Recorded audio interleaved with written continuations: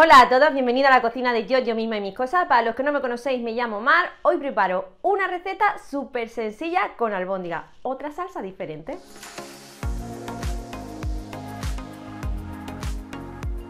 Ingredientes: 1 kilo de carne picada, 4 cucharadas de pan rallado, una cucharada sopera de sal, una cucharadita de las de café de ajo molido en polvo o un diente de ajo muy picado, la punta de una cucharadita de pimienta molida blanca, pero os lo dejo al gusto. Y una cucharadita de las de café de perejil. Puede ser fresco o seco. Un huevo tamaño L y un poco de harina. En un recipiente echamos la carne, el huevo, el ajo en polvo o el diente de ajo muy picadito, la pizca de pimienta o la pimienta al gusto. Yo voy a poner como una cucharada sopera de sal, pero también lo dejo al gusto. Y perejil seco, podéis poner también fresco. Y añadimos 4 cucharadas soperas generosas de pan rallado. Y ahora todo esto lo vamos a mezclar. O bien lo mezcláis con cuchara o con las mismas manos. Para mí es más cómodo mezclarlo con las manos. Una vez todo mezclado vamos a formar las albóndigas. Cogemos un poco de la carne y vamos formando las bolitas de albóndigas.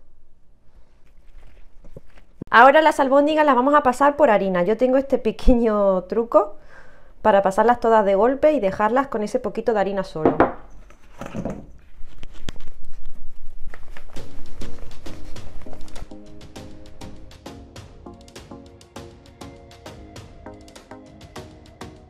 Ingredientes. Dos hojas de laurel, cuatro dientes de ajo, la punta de una cucharadita de las de café de pimienta molida blanca o negra, una cucharadita de las de café generosa de sal, dos pimientos rojos, este es el tamaño que tiene, son grandes, si son pequeños utilizáis tres, dos pimientos verdes, 200 mililitros de vino tinto, si no os gusta el vino tinto podéis sustituirlo por vino blanco, y caldo, de, y caldo de carne, yo voy a utilizar caldo de pollo casero que tengo en casa, si no tenéis pues utilizáis agua, pero queda más sabroso y más rico con el caldo. Vamos a cubrir lo que es el fondo de una sartén con aceite de oliva virgen extra. Vamos a poner un fuego medio fuerte, yo lo tengo puesto en el número 7. Añadimos los dientes de ajo laminados.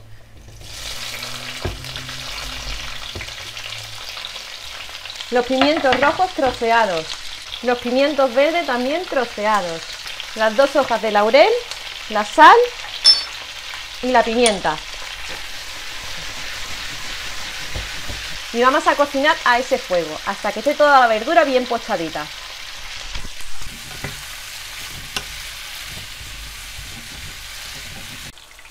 Mientras aquí se nos cocina la verdura que lo he bajado al, número 6 el fuego, aquí vamos a dorar lo que son las, lo que son las albóndigas a un fuego fuerte. Lo tengo puesto en el número 8.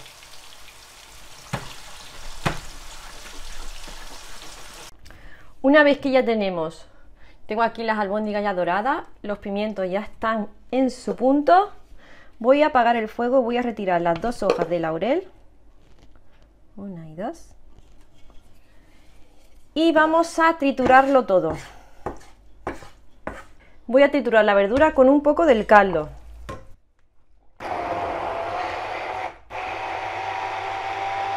Voy a encender el fuego a un fuego fuerte, número 9. Voy a echar las albóndigas y las hojas de laurel que había retirado. Ahora voy a verter el vino y a ese fuego fuerte vamos a llevar a ebullición para perder todo ese sabor alcohol fuerte.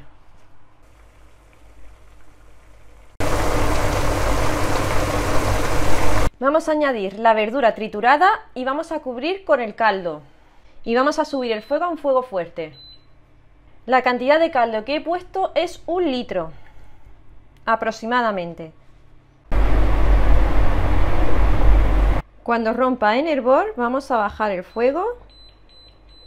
Lo voy a poner en el número 6 y ahí y ahí vamos a cocinar con una tapadera a medio poner 30 minutos, mezclando las albóndigas de vez en cuando.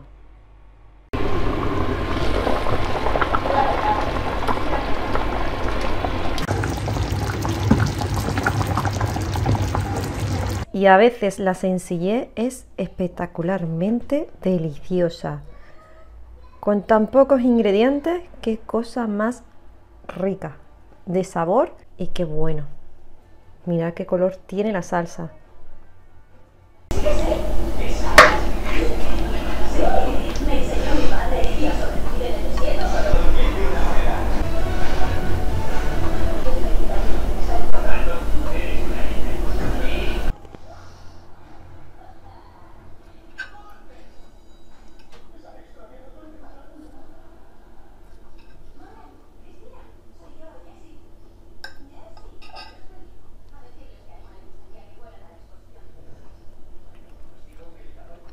Qué jugosas y qué cosa más rica.